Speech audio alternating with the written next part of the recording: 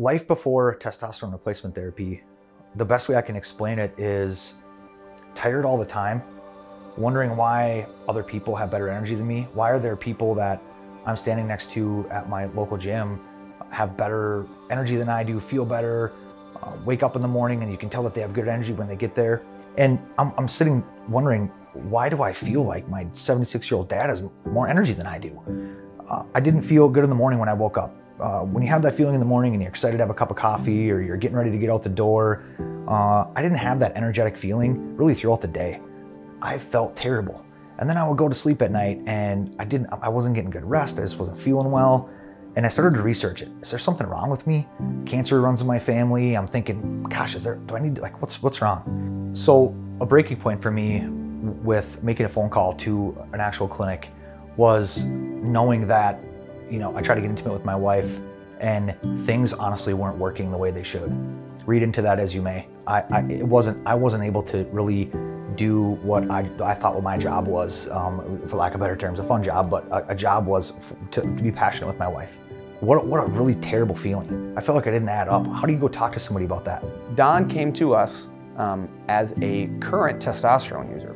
He was being treated by a clinic, um, some outside clinic, and he wanted to see, oh, let's go, you know, it's a little bit closer to home for me. So in terms of being able to um, access, okay, was one of the first things that he noticed.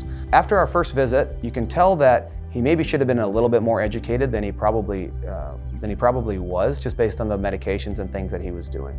The clinic I was at, the whole time I was there, I, I didn't necessarily feel like I was getting treated as like I was a patient. I was just I was a I was just a person that was walking in the door. I was another another patient, another client to come through. And I never really understood why, honestly, why, why I was taking the amounts I was taking or what I was taking. To walk into a clinic and get treated and know that I'm not even getting the medications prescribed, like explained to me. My wife, after going there for a while, she's like, okay, I'm just gonna say verbatim what she said. This is shady. She's like, something's up here. She's like, you need to figure out someplace else to go. So then, uh, one of the guys that I work out with is a little bit older than me, and he said, hey, have you heard about this place in Sioux Falls called Limitless Male? My buddy goes there. I've heard good things. So right away, I call him. I'm talking five seconds after I got that text, I call him up. And I said, hey, tell me about this place, you know? And he goes, well, I don't really know much about it. He goes, my buddy said it's awesome. And he said, if I know anybody that's getting testosterone replacement therapy, this is where they need to be. For him, he wasn't seeing the results that he wanted to when it comes to his testosterone replacement. You know, he saw might some some mild benefits here or there, or at times he would be really, really good, and then other times it wasn't there. So part of that was his consistency uh, in terms of those results and or improvements that he saw in those initial signs and symptoms.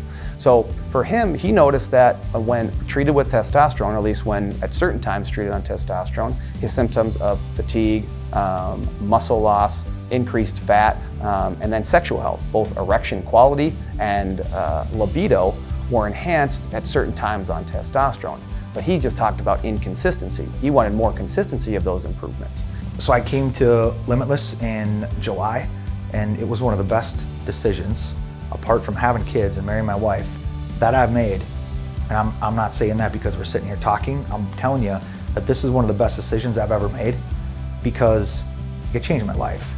And it changed my life in, in more ways than I can probably even grasp in, in video for you guys. You'd have to come along with me for a whole day for me to explain to you how this has changed my life and how that decision to come here set me on a path where I feel like a better person.